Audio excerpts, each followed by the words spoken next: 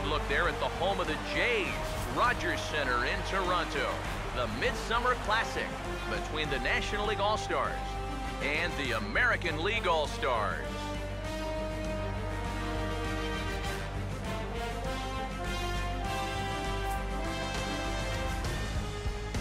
Hi again, everybody. Matt Vasgersian. Welcome to our special coverage of the Major League Baseball All-Star Game here on the show. I'll be joined in a moment by Eric Karros and Steve Lyons, but first, let's give you a look at this year's American and National League All-Star starters. As this year, fans cast close to 400 million votes online. A staggering number. Final preparations being made down on the field. We've got a fun night in store. It's the Major League All-Star Game on the show, and it comes your way next.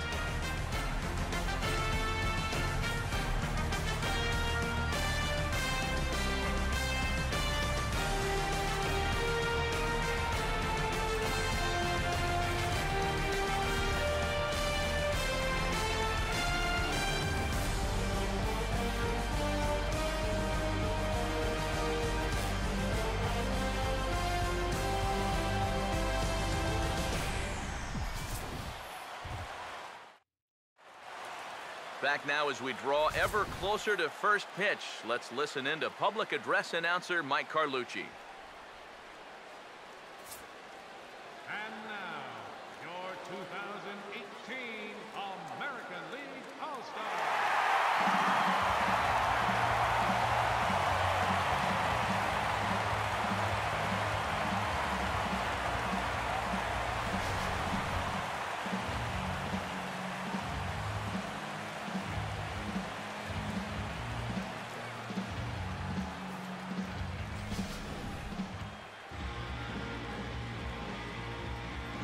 Before we progress any further, let's have a quick look at our two starting lineups for tonight.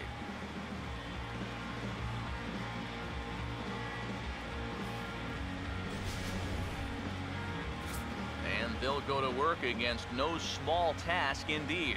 The 2010 American League Cy Young Award winner, King Felix, right-hander Felix Hernandez.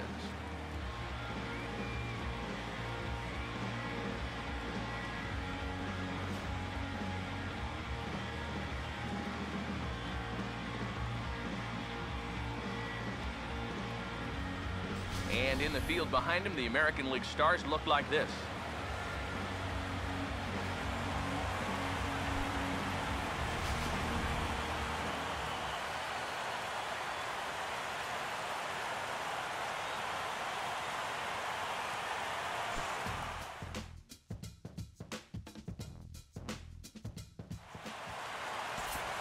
Johnny Venner will step in now to lead things off in the home half of the first.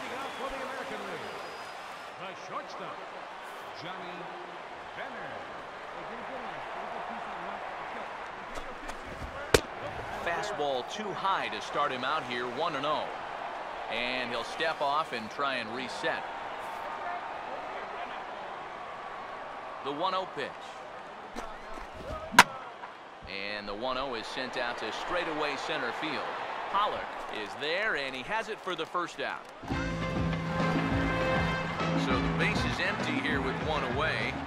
Striding in is the left fielder, Melky Cabrera. Now a first pitch changeup here. Too far inside. It's 1-0. And wow, a very high strike, but a strike nonetheless, and it's 1 and 1. A little bit of hang time there to that curveball. I don't think that's exactly where he's going to want to throw that pitch going forward. It worked out right there, but he better find a little extra snap on that pitch in the future. Knuckleball, and he can't pull the trigger. It's a called strike three for out number two. Here's a close-up of how he grips that knuckleball. You can see it's not really his knuckles that grip the ball, but rather his fingernails that really dig into the seam. That's such a tough pitch to throw, and even more difficult to master. Here's the center fielder, Mike Trout. As the first pitch misses to him, it's ball one. Got to figure that that man right there would be more than happy to see this guy at the plate taking his swings with two out and nobody on all night long. so would the guy on the mound. See you later. Over the wall, a home run.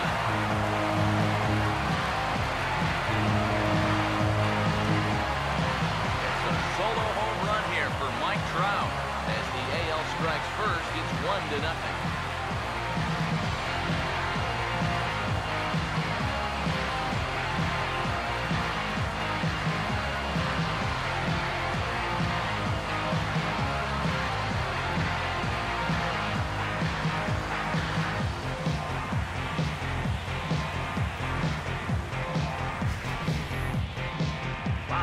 Didn't really look like it was going anywhere, but if the first two guys don't get on in front of them, that's when they're swinging for the trees. When guys are on in front of them, they shorten down and try to go for the base hit, but a big solo shot right there with two outs.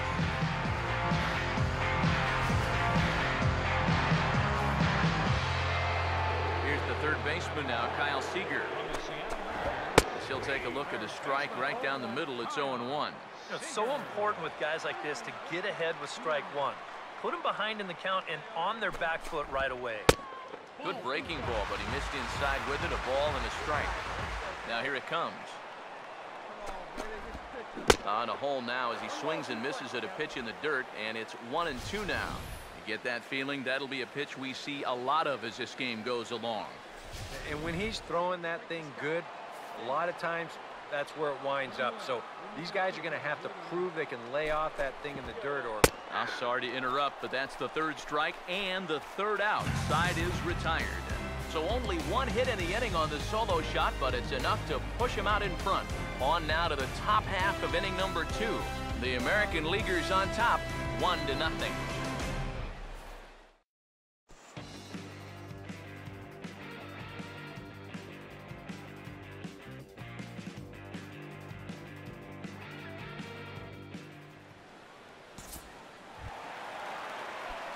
Martinez will lead things off here as they'll have five, six, and seven due up to start the home second. Now a swing and a ground ball. Pitch on the way. And a fastball way off target here, and it's even at one. And this one runs a little too far in, ball two. The pitch. To two and two now. Now here's the pitch. Look out. Don't want to hit him there. It's full three and two. Victor Mendoza waits on deck. Now a swing and a ball popped high in the air over toward foul ground.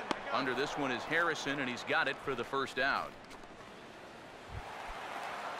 Victor Mendoza will step in now. From the Toronto Blue Jays. Drops in a strike to start the at-bat. Nothing in one. He may not throw a ton of changeups here tonight, but he's got a good one when he needs it. and I think he will need it because this is a good fastball hitting team. Most teams are. So the more you can keep these guys guessing off balance, the better. Takes a look at a changeup there, and it's a ball and two strikes now. And this is fouled straight back. Again, a 1-2. Knuckleball, and he can't pull the trigger. It's a called strike three for out number two. Now, sometimes you just shake your head and move on. And he's thinking, how did that pitch wind up a strike? Just got to be thankful you don't see knuckleballers every day.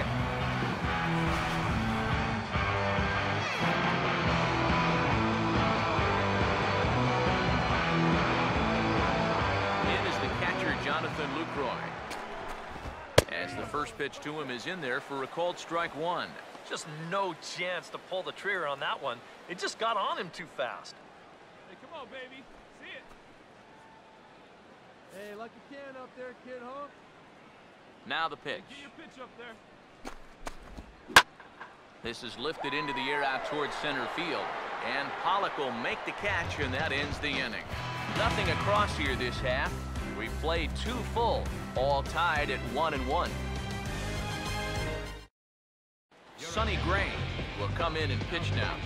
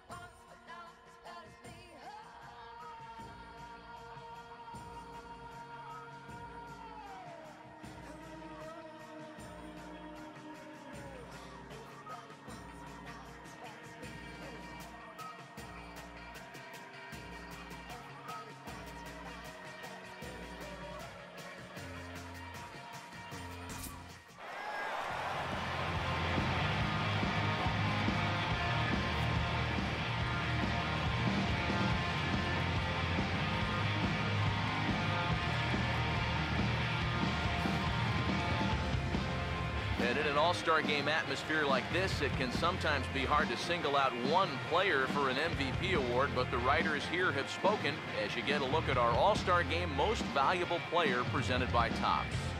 And I don't know if this was a unanimous selection or not.